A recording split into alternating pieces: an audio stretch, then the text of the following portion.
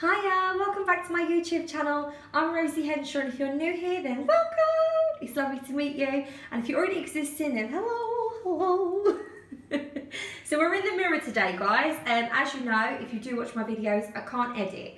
Um, so what I'm going to be doing is, is showing you in the mirror this way and then I'm going to take you into the kitchen to show you a little tour because I've decided to paint my kitchen and I've also painted the really ugly UPVC door and I'm going to show you the primer that I use and actually it's doing a little treat. The kids have been bashing into it, the dog's been scratching up here and it's really doing well actually and it's really lovely and wipeable and it allows you to paint whatever colour you want on your door as well. So this is for outside and indoors. It's called the Tricky um, Tricky Surfaces Primer. So I'm going to be going on a few things indoors actually, painting some really ugly things I didn't know I could paint. Um, so grab yourselves a hot drink and some snacks and we're going to get into the video. I'm going to turn around and we're going to start walking into the kitchen. I am a little bit disappointed because I did have a few things coming. Um, so this wall here looks a little bit empty. I will show you in a minute, but I've got from a place called Yesterhome, I've got two scaffold board shelves coming um, with beautiful ornate brackets. And the reason why I ended up doing that rather than buying them myself was, is I really wanted these brackets and it worked out £4 more dearer, like cost an extra £4 to actually have the shelves with it than it would have done. So I just thought it's cheaper than buying the wood myself. Sometimes it's better to not DIY. Um, so as we come into the kitchen, you'll see all the layout and stuff, nothing's really changed. Let me put the light on so it's a little bit brighter. Um, so nothing's really changed apart from the wall colour at first, but the, the most drastic things tend to be the doors and the woodwork. So as we come in, the colour I used to have on the wall was a really lovely colour called Slingy Hook um, by Valspar B&Q.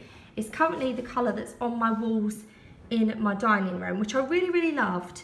But because my kitchen has got like the two small windows right at the back, and then we've also got a utility room here, um, it just locks a lot of the light out and I just felt like it needed really, really brightening up. And I also thought all the accessories would look a lot more brighter and pop better if it was white.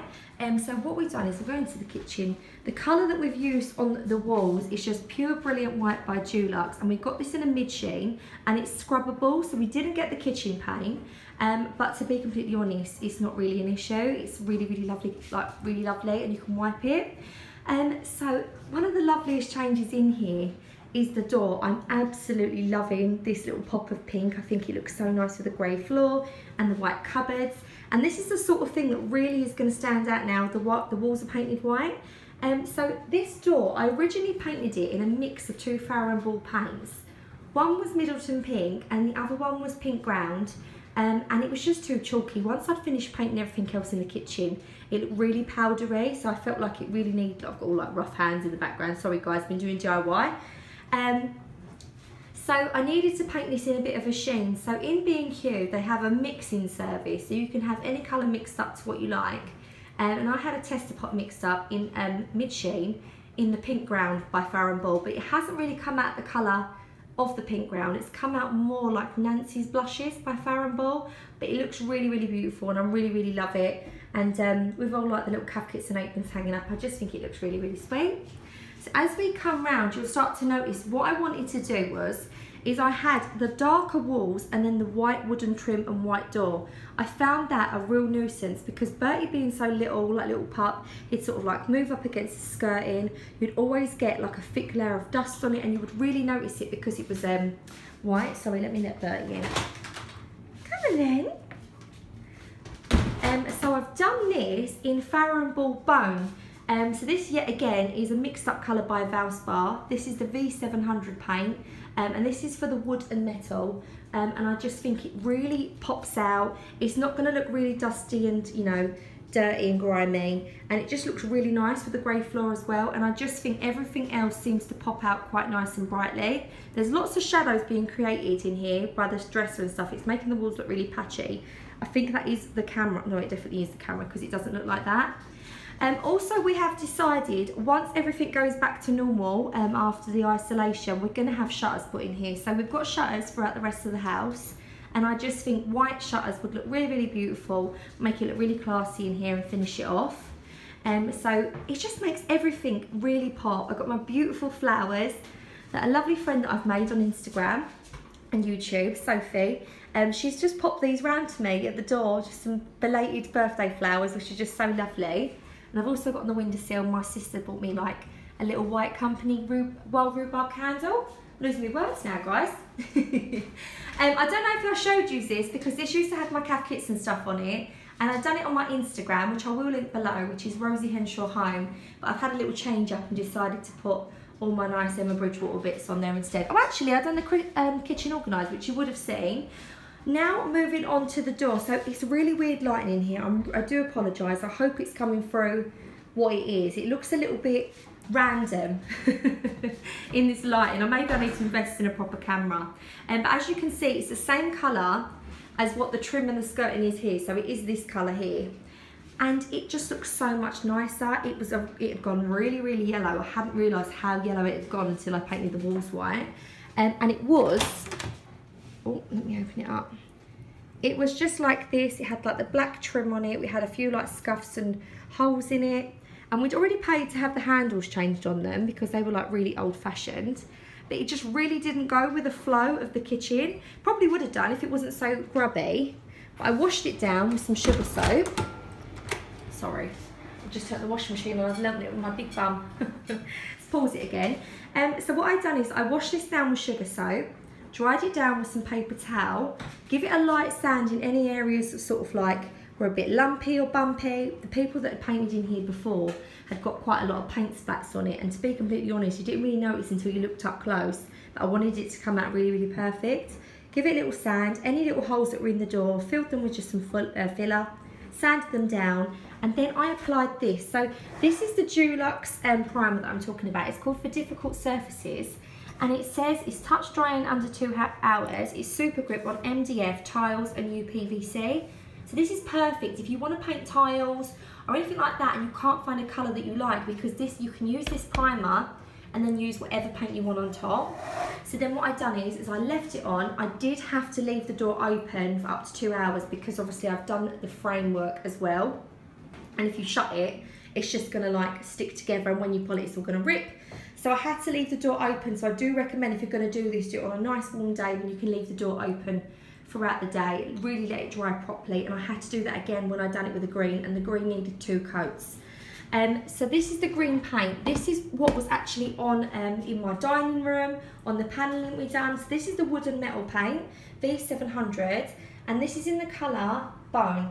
They've writ chromatic on the front, but that isn't that. I had a mix up, I had a small little tester pot, and the guy that mixed them up done them wrong, like the opposite way round. So I think on my Instagram I said it was chromatic, which I have gone on and corrected, um, like in stories, but I will go onto the post and correct that because in case anyone goes and buys that, it is actually the colour bone. Um, so, and this is chromatic actually. This is the colour chromatic, so it's a little bit darker. Um, but this is the colour that's in my dining room on the um, panelling. So it just looks really lovely. I've had two coats, it just looks really pretty. From Dunelm, I've ordered like a little linen Roman blind to go on here. And I'm gonna order some lovely pink and like blue and green pom-pom trim. And I'm just gonna put some pom-pom trim on that. I will show you on there how I do that on my channel when it gets delivered. So I'm waiting on that. I've got a new lovely bread bin. It's like a sage green wicker that will go across there instead of that bread bin there. And my mother-in-law wants that one because she's just done all like this sort of sage green in her kitchen. So she's having that, so nothing's going to waste. And I've got a nice long one going there.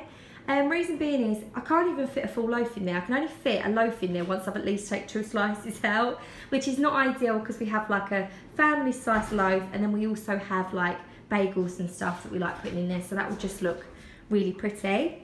Gary also went and got um, my Fortnum Mason basket out the loft. So this is the one that's just a little bit more handy to have up here because this is the Huntsman picnic hamper and it's just much easier, more access. So I can put some like adult treats in there. Like, you know, the kids, when they have it in the other basket, they tend to just go and go and go and go, crisp and chocolate, crisp and chocolate all day long. And so when it's just up there and I don't put it all in the other basket, it just limits it a little bit so they're not just, you know, pigging out on so much in one day. Also, I've got this little barn style. I did have this over here above, but like I said, there's going to be two really beautiful um, white white ornate metal brackets with two lovely like oak coloured scaffold boards and these little stars. I actually got these off eBay. They were black um, and silver gunmetal, which I've just painted them with some tester pot. So, ooh. That tester pot's called Stony Ground by Farrow & and that's Rust-Oleum Dusky Pink. Um, and they're going to go on the shelves once it's done with some little plants and some cookbooks. It will look really, really pretty. So it's looking a bit empty. But that star has gone there in its place. And it just looks a bit dark in that corner. It doesn't actually look that dark in this real life. It's I definitely need to invest in a better camera. So what I've done is I had a little tester pot called Peignoir by Farrow & Ball and I mixed that together with the Rust-Oleum Dusty Pink and tried to get the closest match I could to sort of like this picture that I got gifted kindly by um, Desenio, like that sort of pink. And it does look like that pink, but it's just so dark in this corner, you just can't really notice it. So, and also I've done all of like the skirtings here and it just looks really, really cute. It's much cleaner. I've noticed the dishwasher, this area here, the skirting, I used to literally have to wipe down about four or five times a day because you would always get like drops from when you put things in the dishwasher. And not that I shouldn't clean it as much, I probably should. I'm not needing to because where it's like a darker colour, it's not showing up. Um, so as we come over here, also I forgot to mention, I did actually paint that windowsill in the same colour and I was going to do all the windowsills. But I thought, you know what, I'm going to leave it a bit country mix match and I'm going to leave the other two that I made because I made these with um, pallet wood, made my own windowsills and I just thought it looks quite nice over there. But that one over there, it kept going a really orange colour. Like the sun that comes through there is so intense. It was just bleaching it and making it look really horrible. So I thought, once I paint it in that colour, I've got the nice sage green bread bin. It will look really lovely. I'm thinking going to get a nice little picture or chalkboard here. Sort of fill that little space. And obviously all these windows are going to have shutters on them so they'll look really nice. And these little bowls here, they're probably going to go on the scaffold shelves out there. And bless Gary, he knew that I wanted to paint the kitchen and have brighter pops. Um, so him and him and the children got me a new pink Roberts radio for the kitchen, which I'm absolutely loving. He obviously got me the cream one, I think it was about two Christmases ago, so that's gone back in my lounge because I love having a cup of tea, listening to the radio. At the minute I'm listening to Heart 90s. I'm a 90s child. Um, and I've got some lovely little Sweet Williams flowers on the go nice little hand creams in the basket. I actually said Gary's um, cousins got me like some Emma Bridgewater like hand wash and cream. I was like, they're literally never going to get used. They're just going to sit in a basket for show. I do use them. But I just think like everything's really popping out a lot better with the colours. And it all started with the pink door. so I done the pink door and it just it just really looked weird. It looked darker. It didn't pop out. So I will give you a little update. The shutters obviously aren't going to be getting done until after the lockdown's done, but I will show you the little white blind that we're going to have there with some little bright pom-pom bits on it. Um, oh, oh, I've also got a doormat coming, guys. A little doormat with a little heart on it. It's really cute. So when they come, I'll show you. And I can't wait to get these shelves up. I've wanted them kind of rustic shelves that everyone has on sort of Instagram and Pinterest for absolutely ages.